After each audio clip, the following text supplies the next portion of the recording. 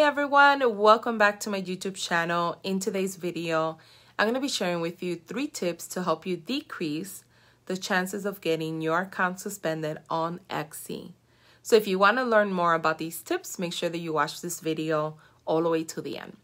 Now, if this is your first time visiting my YouTube channel, consider subscribing today. I do upload weekly videos to help you build an impactful online business. And don't forget to hit that notification bell so you'll be the first one notified of every new video I upload. Now, the reason why I wanted to do this video today is because lately many Etsy sellers accounts has been suspended, like their store are getting suspended for no reason. And this has been happening a lot in the past few months, and I've seen it a lot in my actual Facebook group. A lot of people post about this. And I personally have never had my account suspended so I can't speak to whether Etsy does reach out to sellers or not. However, um, many people saying they're not, you know, and I'm starting to believe it because the majority rules, right? And I did see the chat conversation between a customer and an Etsy rep, and this was shared on my Facebook group. And it was quite disappointing how Etsy handled the situation. The person just wanted to know why their account got suspended. And this is what Etsy said. They said, Thank you for waiting. After reviewing your Etsy account, I can see that you have been refused service. We would appreciate your cooperation with ceasing all contact with Etsy, and it has been determined that our business relationship has ended. For that reason, we will need to end this chat. We appreciate you understanding and cooperation. When I read this, it didn't sit well with me. I feel that if we responded like this to a customer, we would get suspended right away. And I also feel that as an Etsy seller, they hold us accountable for providing excellent customer service to our buyers, but they don't seem to be doing the same for us sellers. And I still love the platform, and I'm very lucky because it has helped me generate a lot of passive income selling my digital products from my various stores. But I do feel like a change needs to take place soon because if they continue to provide horrible customer service, um, they're going to lose a lot of great sellers. People are going to start opening their own website, which I still recommend it, but or going to Shopify or going to other different e commerce platforms. And I wanted to share with you three things that you should avoid at all costs to avoid getting your account suspended. And these tips will decrease the likelihood um, with Etsy, but you know, you never know. But just wanted to share these because I think that they're important to share. They're very related to one another as well.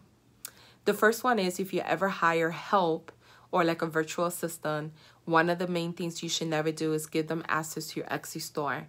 Um, and the main reason is because Etsy keeps track of your IP address. And I will link the article below where Etsy talks about it. Um, so if your help has an Etsy store also and their account gets suspended or they log into another Etsy store that in the future gets suspended, yours will too because they will think it's the same owner. Another tip is don't let others log in using your computer. So if you have a friend who is visiting and she's like, hey, let me log into your computer real quick and log into my store. Later on, when she's at home, if her account ever gets suspended, um, you put your store at risk because they're tracking again the IP address at all times. So don't do it. And the third tip is don't use VPNs, which are like virtual private networks. And they're commonly used to give online privacy to create private networks when you're connected on a public internet connection, which makes sense to use. I have used them before. However, you're putting your store at risk if your VPN pulls an IP from his random pool, because it's like a pool of different ones, that got someone banned in the past, your shop goes goes away as well. So that's the reason why you want to avoid them. So these three tips will help you decrease the likelihood of getting your store suspended. It really does put things in perspective that everyone should have their own website. Uh, in case this does happen to you, you don't technically have to start from scratch. Um, let me know in the comments below if you enjoyed this video, um, what other topics you would like me to cover like this that we, I barely don't ever cover. And I want to thanks everyone for watching. Let me know in the comments below if you have been affected by Etsy, if your account has been suspended, What did you do to recuperate your account? Maybe you know someone else's account that got suspended and you know that they were following all the rules and they still got suspended. Share that below. I think the more we all share our experiences, um, it does open your eyes more to what's really happening because until it happens to you, you really don't know. So all you have to go is by your opinion and what you know you've been through. But when it happens to other people and you share it, um, especially tips like this, like don't let other people log into your account. I'm sure many of us have done that with our friends, or maybe you have you know went to um, somewhere else and used someone else's computer and logged in. Just taking those advice and, and like really thinking about it next time that you're out not you know publicly using your login anywhere because you never know. Um so let me know in the comments below and thanks for watching